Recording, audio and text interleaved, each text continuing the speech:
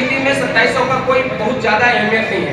लेकिन मैं बता दूँ साथियों, ये हार्ड एंड रिस्क अलाउंस जिस प्रकार जो बॉर्डर में हमारे सैनिक काम करते हैं, उनको हार्ड एंड रिस्क अलाउंस मिलता है। साथियों, रेल प्रशासन मान लिया कि आप हार्ड वर्क करते हो, आप रिस्क उठाते हो। ये सम्मान सबसे बड़ी बात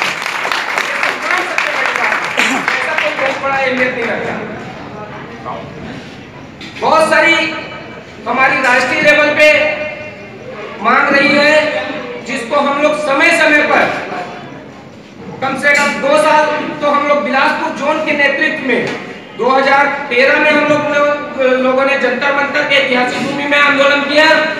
और जब 2014 22 सितंबर 2014 के बारे में बता दूँ आप लोगों को, जो पुराने हमारे सभी साथियों को मालूम है, नए लोगों को बताना चाहूँगा। 22 सितंबर सन 2014 को दक्षिण पूर्व मध्य रेलवे ट्रैक मेंटेनर एसोसिएशन के बैनर तले भारतीय रेल के समस्त ट्रैकमैनों को इकट्ठा करके जंतर मंतर के ऐतिहासिक भूमि से आंदोलन करते हुए ट्रैकमैनों की, समस्याओं को रेलवे बोर्ड तक लेके जाने का काम किया साथियों। ये बहुत बड़ी बात है। और उसका परिणाम हम लोगों को हार्ड एंड रिस्क के अलावा मिला, जो सम्मान के रूप में आज और हमारे पे स्लिप में जुड़ के आता है। हमारा शुरू से एक महत्वपूर्ण मांग रहा है, जिसके ऊपर रेल प्रशासन का रवैया चले आ रहा है। हो सकता है बहुत ज़्यादा अगर सही दिशा में उसमें सही प्रयास हो तो हो सकता है वो सफल हो जाए। हम लोगों ने रेल प्रशासन के सामने, रेलवे बोर्ड के सामने, जब रेल मंत्री कोरबा में आए थे, पीयूष गोयल, उनके सामने हम लोगों ने गुहार रखा, हम लोगों ने समस्या रखी, हम लोगों ने एक मांग रखी कि रेलवे में ग्रुप डी की भर्ती का दरवाज़ा सिर्फ़ इंजीनियरिंग के लिए खुला होना चाहिए। भी आए, वो ट्रैकमैन में आए और जो पहले से सेवा अपनी रेलवे को दे रहे हैं रेलवे ट्रैक में, उसको दूसरे के पार्ट में यहीं से जाने का अवसर मिले। तो तमाम समस्याओं का अंत यहीं कने हो जाएगा। इस दिशा में काफ़ी सकारात्मक रेलवे बोर्ड पे जेसीएम में बात हो रही है।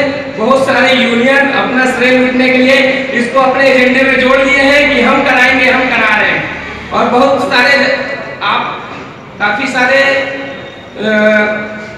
मतलब यूनियन का जब भी कार्यक्रम होता होगा, या आते होंगे तो दो चार होते होंगे, और वो अपनी बात रखते होंगे क्योंकि स्वतंत्र भारत है।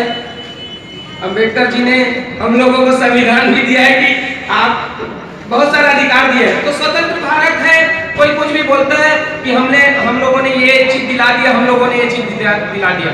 लेकिन आप लोग समझिए, आप लोगों को समझना होगा।